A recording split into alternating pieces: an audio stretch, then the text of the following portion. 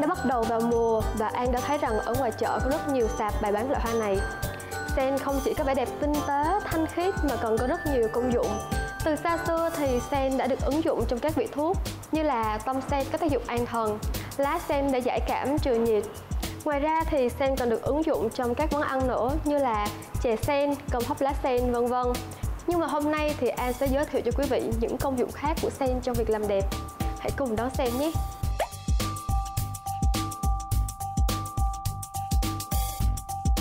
Trong cánh hoa sen có rất nhiều vitamin như vitamin A, vitamin C. Ngoài ra còn có thêm sắt và phosphor giúp loại bỏ tế bào chết và hỗ trợ hình thành tế bào mới. Chính vì vậy mà việc ngâm tắm bùn với hoa sen rất phổ biến tại các spa làm đẹp. Nếu quý vị không có bồn tắm thì hãy làm theo cách mà An sẽ chỉ ngay sau đây nhé. Đầu tiên thì chúng ta sẽ tách cánh hoa như thế này. Sau đó vò và thả vào nước ấm. Quý vị dùng nước này để tắm và massage toàn thân. Mùi hương từ hoa sen sẽ giúp tinh thần thư giãn, thoải mái và tinh chất từ những cánh sen sẽ làm da săn chắc, khỏe mạnh.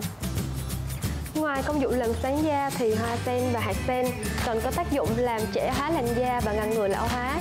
Sau đây thì An sẽ chỉ cho quý vị hai loại mặt nạ cơ bản và dễ làm nhất nhé.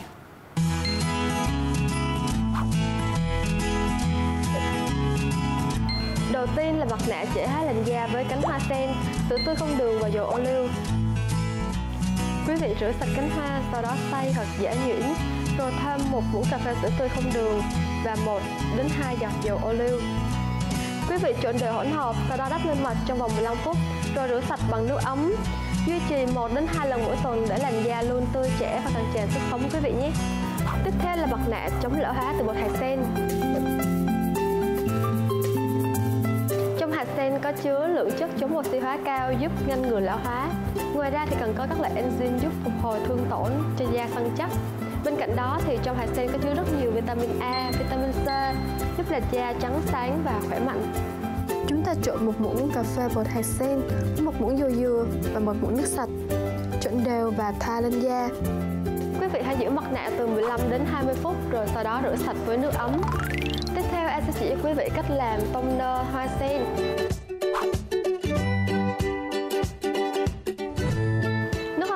từ cánh hoa sen không chỉ an toàn, lành tính, dịu nhẹ giúp hỗ trợ loại bỏ các bụi bẩn còn sót lại trên da mà còn hỗ trợ dưỡng ẩm và làm sáng da Về cách làm, chúng ta tắt lấy cánh hoa sen rửa sạch rồi xé ra từng miếng nhỏ chanh thái lát mỏng cho chanh vào cánh hoa sen vào bình xịt đổ nước gặp bình và lắc đều.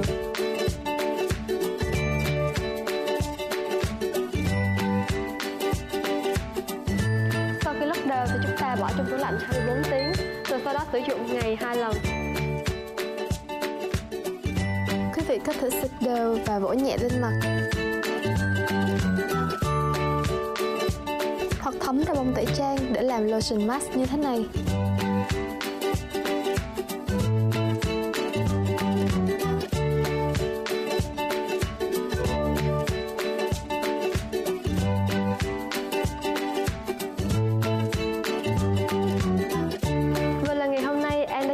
Xong cho quý vị những mẹo làm đẹp vừa rẻ, dễ làm lại hiệu quả từ hoa sen.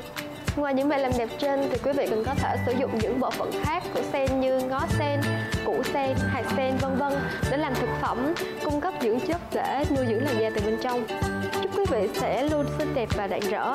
Xin chào và hẹn gặp lại.